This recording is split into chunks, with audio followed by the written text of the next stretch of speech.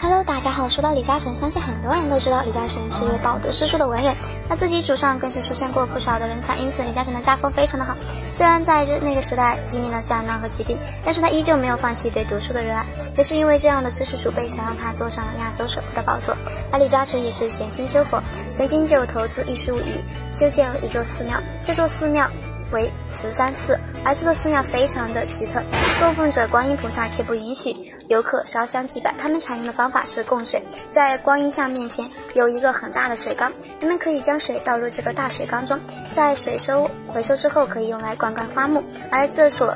寺庙在十多年前，李嘉诚就花了七千万买下了这块地，也是修建了十年才将这座寺庙修建起来，更是树立着一座全球第二高的户外观音像，看起来非常的壮观，每天限额四百人参观。